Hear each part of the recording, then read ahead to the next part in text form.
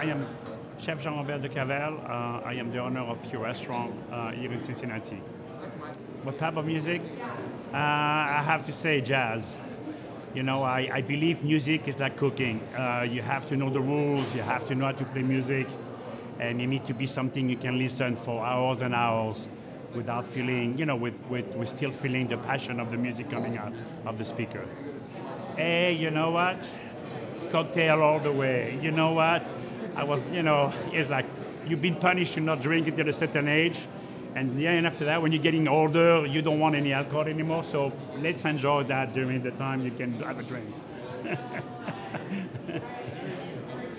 I've been, on, I mean, I, I do that quite a lot. Of course, you know, we have this, the typical dive. You know, I have to say the Knockback dive because it's near the table, and that's where the gossip after after after midnight with the restaurant people, and I enjoy to see the customer. I enjoy that feel of a dive. I always did, and it's something you cannot build. It's something with years after years, and customer make that attraction. And the second place, you know, second place I really enjoy all the time is going somewhere quiet when I can really actually enjoy either some music or either a conversation. And uh, I'm not big trend of uh, places where there's going to be a lot of people and noisy and you have to yell or you cannot really have a conversation. So looking for, you know, the Art Lounge on 4th Street, it's a place I love to go because you go there and you can actually unwind and relax and, and, and enjoy a cocktail and some conversation. I don't want another culinary trend. Please don't. We don't need it.